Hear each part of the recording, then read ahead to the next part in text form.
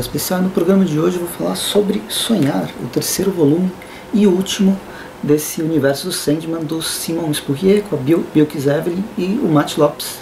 Embora tenha outros autores aqui, outros desenhistas, a Dani Strips e o Matias Bergara, trabalhando em duas edições pelo menos nessa, nesse encadernado, que tem as edições americanas de 13 a 20 eu disse que é o último porque é o último mesmo. A, essa equipe, né, o Simon Spurrier, a Bill Kisevely e o Matt Lopes, eles vão se despedir, fechar o arco deles, todo esse caos ordenado que eles, uh, que eles apresentaram desde a primeira edição, desde o retorno desse universo do Sandman para os quadrinhos.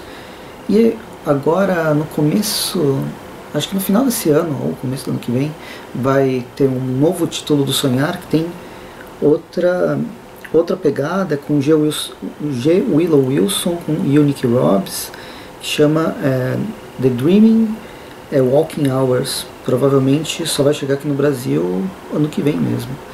Mas, a, até porque a última edição, só para vocês terem ideia, ela foi lançada nos Estados Unidos, ela é de junho de 2020, ou seja, provavelmente é, abril de 2020, chegou nas bancas lá. E aí eles compilaram nesse, nesse encadernado encerrando tudo. Deve ter sofrido atraso por causa do. Né, esse Walking Hours, por causa do da Covid-19, vários títulos foram cancelados e outros adiados. Mas enfim, eu estou aqui para falar do Sonhar, do volume 3, que chama Um Passe de Mágica.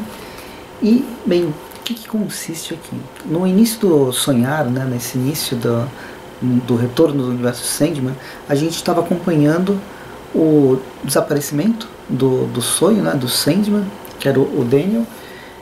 O mundo do sonhar entrou em completo caos, isso resvalou em todos os outros personagens desse universo expandido do personagem e a gente estava acompanhando é, o desenrolar das, das situações e a tentar buscar uma resolução através de alguns personagens, entre eles a Dora é uma personagem nova que eu curti bastante.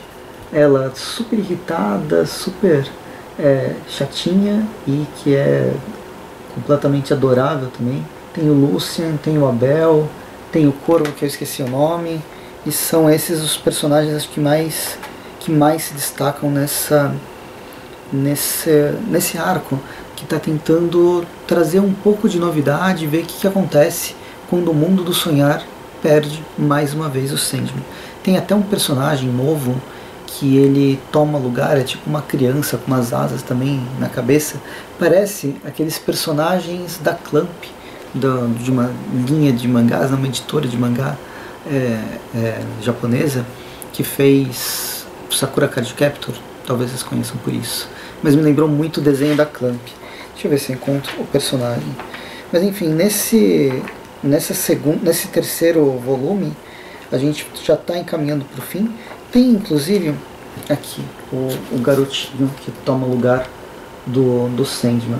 Ele tem um final talvez um pouco corrido ou que eu queria que se desenvolvesse mais. Mas é, de todas as edições, né, da 13 a 20, são oito edições, quatro delas que está no meio, ela chama A Coroa, é um arco em quatro partes ela é o centro do, da, das atenções de todo o desenvolvimento da conclusão, embora tenhamos mais quatro edições, duas antes e duas depois, dando, é, aumentando esse caldo. As duas primeiras, primeiras edições, elas estão na edição número 13 e 14, a gente tem a história A Retificação, vai focar em antigos deuses, antigas lendas que moram entre, entre os humanos, e eles estão sofrendo uma certa depressão pelo desaparecimento do sonho, o desaparecimento do, não do universo do sonhar, mas como eles estão sendo esquecidos, estão sendo ignorados pela, pelas pessoas, criaturas que já foram temidas e agora elas são relegadas ao nada. Com o passar das, da, das páginas, a gente percebe que realmente há um apagamento desses personagens de forma sistemática, a gente não sabe o que está acontecendo, se é simplesmente a descrença humana completa que está levando essas pessoas ao esquecimento. É bem triste acompanhar, tem o um encontro deles num grupo de autoajuda que um, um os, todo mundo fica conversando e a gente fica descobre quem que esses personagens são. Eles até tentam uh, se, se reencontrar, mas é completamente em vão. É bem é triste. Eu acho que todo sonhar, né, toda a história do Simon Spurrier, ela trabalha muito com a melancolia. A história seguinte, a gente vai acompanhar a Dora, que está tentando recobrar sua memória, chama A Quebra. Ela está tentando recobrar sua memória e para isso ela faz um, ela começa a jogar um jogo de tabuleiro cósmico com criaturas extraplanares super poderosas. São os demônios da Goetia. É uma classe de demônio que está muito pautada na magia hermética. Então aqui a gente tem uma pesquisa bem interessante do, dos roteiristas para esses para essa literatura que existe, uma literatura do nosso mundo mesmo. E aí então a gente entra no arco a coroa que vai mostrar de forma completamente melancólica e depressiva o esfacelamento completo do sonhar. O novo Senhor dos Sonhos, é, aquele garotinho que eu tinha mostrado, ele parece ele, ele é uma criança, mas ela é de certa forma fria e ela não consegue compreender o que, que é o sonho para a humanidade e para os próprios sonhos. Esse novo Senhor dos Sonhos parece que é mais poderoso que os, que os antigos, ele quer centralizar que tudo ocorra nas mãos deles, dele, e com o tempo as criaturas do mundo do sonhar estão sendo, estão sendo destruídas. Mas na destruição do sonhar, a raça humana também começa a perder a vontade de sobreviver, a vontade de, de continuar viva, e a gente vê várias pessoas cometendo suicídios ou cometendo displicências para morrer, porque acho que não vale mais a pena sobreviver nesse mundo sem o sonho, nesse mundo sem esperança a gente chega na metade do arco, todos esses segredos que foram construídos sobre a destruição, né, o esfacelamento é revelado.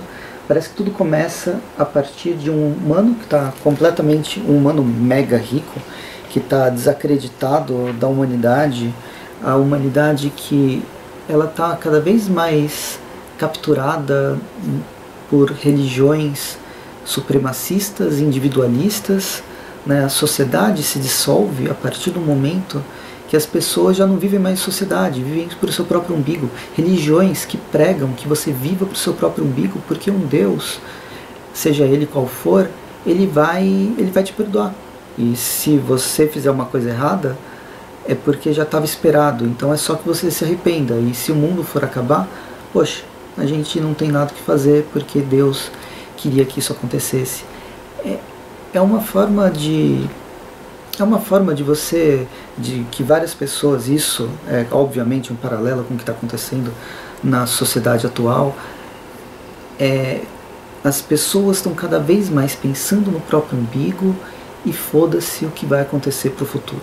É basicamente isso. Esse cara ficou muito transtornado que o mundo vai acabar se todo mundo só pensar dessa forma Inclusive, ele chega a falar sobre alguns grupos que começam a desacreditar na ciência e acreditar só naquilo que ele quer acreditar. Sabe, vocês estão vendo essa coisa de pós-verdade, de mentiras, que agora chamam, estão chamando de pós-verdade, mas teoricamente esse termo ele servi, servia para outra coisa, foi capturado para justificar mentiras é, que vários uh, várias pessoas importantes ou teoricamente importantes da política, que são presidentes, governadores e agora prefeitos, usam essas mentiras para se manter, perpetuar no poder e disseminar cada vez mais falsidades. E aí, várias pessoas, e isso é uma questão que ainda está em estudo, porque as pessoas resolvem acreditar em mentiras. Tem mentiras absurdas. Eu acompanho vários vários sites, vários checadores de, de, de informação que você lê e parece, puta, é impossível que isso, alguém acredite nessas, nessas barbaridades do tipo tomar desinfetante e se curar da Covid-19. Mas as pessoas fazem. Pessoas que acreditam naquilo realmente, porque são completamente tapadas, pessoas que não acreditam, mas aquilo faz corrobora o discurso que ela quer corroborar e aí ela dissemina informações falsas. Se a informação for estranha, pesquise. Se você achar que ela não é verdadeira, não passe para outros. A gente perdeu a capacidade de perceber ironias e sarcasmos. Então, a, a, a, aceite que aquilo que está sendo passado, por mais, por mais absurdo que seja, é alguém achando que é verdade. E se você passar aquilo como brincadeira, a pessoa que vai receber você não sabe, ela pode achar que aquilo é verdade e você só vai estar tá disseminando notícias falsas. Então, é, essa situação que a gente está vivendo é justamente o que provocou esse cara a tentar fazer uma revolução e destruir o sonhar porque ele culpou essa irrealidade né, culpou a situação de destruição do próprio mundo e da sociedade nesse, nessa irrealidade. Mas o que o, o desenvolvimento da história vai mostrar é que o irreal, o mundo do sonhar, ele não é um mundo das notícias falsas, mas ele é um mundo do, da esperança. É um mundo onde a humanidade pode espelhar e pensar em possibilidades, traçar e criar histórias histórias de acontecimentos que não ocorreram, que poderiam ter ocorrido de outra forma e pensar sobre a própria, própria sociedade. A arte, seja os quadrinhos, seja, seja o cinema, seja jogos de computador, um, um desenho, um livro, bem, qualquer coisa que você que a gente possa considerar arte que é a manifestação cultural de um grupo ou de uma, de um, de uma sociedade, ela é necessária para que a sociedade continue continue avançando, continue sobrevivendo, continue pensando sobre si mesma. E aí, é, essa história do Sandman, a coroa e depois como um passe, é um passe de mágicas, que são as duas últimas edições que vão fechar o encadernado, ela vai trazer justamente essa discussão, a necessidade do sonhar, a necessidade da raça humana de poder projetar o, as suas ambições no futuro, poder repensar as suas próprias vivências. Mas o lance é esse: a gente tem que pensar nossas vivências enquanto comunidade, enquanto um ser, pessoas que vivem em meio a outras pessoas, pessoas que é, fazem qualquer coisa ruim que ela fizer, ela vai afetar outras. É, ninguém vive sozinho, ninguém vive completamente desligado das outras da, do mundo mesmo quem vai se exilar e virar um eremita completo, ele vai ter relações que seja mínima, que é o abandono das pessoas que ele, que ele tinha contato.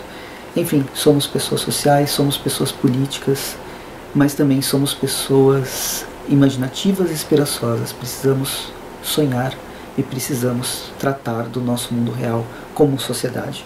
E é isso que e é isso, essa mensagem do sonhar, é essa mensagem do Spolier, da Bilkis Evelyn, do Mati Lopes, da Dani Strips e o Matias Bergara. Gostei, gostei bastante e eu acho que essa reflexão que eu passei para vocês nesse, nesse vídeo me fez gostar ainda mais da história. Talvez ah, tenha a parte da narrativa gráfica da Bilkis Evelyn que já destrói completamente qualquer qualquer interpretação que o Simon Spurrier queria e nos joga mais e mais dentro dessa surrealidade, desse mundo criado pelo, pelo Neil Gaiman, mas desenvolvido pelo Spurrier nesses últimos, nessas 20 edições. A gente tem esse trabalho metafórico, metalinguístico, metalinguístico elementos transcendendo a, a narrativa, e bem, toda essa, essa lógica maluca que é a lógica da nossa própria sobrevivência. Gostei bastante, acho que a única coisa que eu posso reclamar é que na chegada nas últimas edições a gente tem quase que um deus ex machina e uh, algumas personagens que a gente vinha acompanhando durante toda a série elas perdem protagonismo para um outro para uma outra figura de, de destaque que, se vocês leem nas entrelinhas, vocês já entenderam de quem eu estou falando, mas para quem não entendeu, leia o volume, e para quem também entendeu, leia o volume, que vale bastante a pena. E é isso. Eu vou ficando por aqui, espero que tenham gostado do vídeo. Curtam o vídeo, assinem o canal, assinem o Chapa do Preço no Facebook, me sigam no Instagram, arroba Preço Gaudio. E é, comprem esse universo. O Sonhar é muito legal, tem todo outras histórias do universo do Sandman que também pode ser encontrado inclusive pela Amazon, mas no site da Panini também. Mas se comprar pela Amazon vai me ajudar bastante o canal. Eu vou ficando por aqui. Me siga no Instagram, arroba Gaudio, e eu acho que eu já me, me enrolei porque eu falei uma coisa, voltei, falei outra. A gente se vê no próximo episódio e até mais. Com, conversamos nos comentários, até mais e bons quadrinhos.